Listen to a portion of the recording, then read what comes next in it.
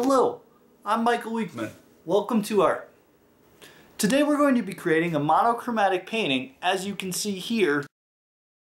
This monochromatic painting is a painting with one color. As you can see I chose blue and it's using all the different tones and tints and shades of that color to create and construct this painting. Now as you may have guessed, choosing a reference image is important. Reference image meaning the image that you're going to base the artwork off of. I chose this image of Chicago skyline here and then basically I threw Chicago above it. As you may also be able to guess, there isn't actually Chicago written in the sky above the city of Chicago, so you have to take some artist's um, liberties to create an image that you want rather than an image of the photograph. Because if people want a photograph, they'll probably take a photograph. If they want a painting, that's what you're going to provide.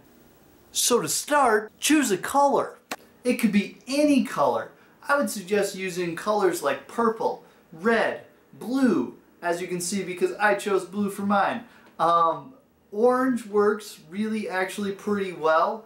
Um, browns are incredible. You can get this nice sepia tone feel to it. But colors I would stay away from are sometimes colors like pink and also yellow. First off, pink because it's really hard to create a pink color that's really dark because that just turns out to be red. And for yellow, it's just really hard to create a nice, cool looking, clean yellow that is also dark because otherwise it just looks like it's dirty yellow. You kind of got to change the way you think about a painting in order to create a successful monochromatic painting. Now watch as I basically construct the image before you, basically step by step constructing each section of color as I move throughout the painting.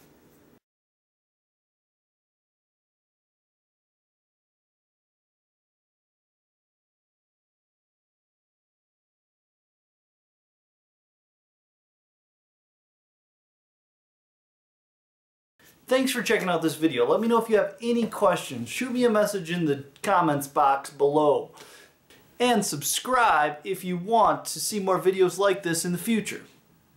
Have a great day.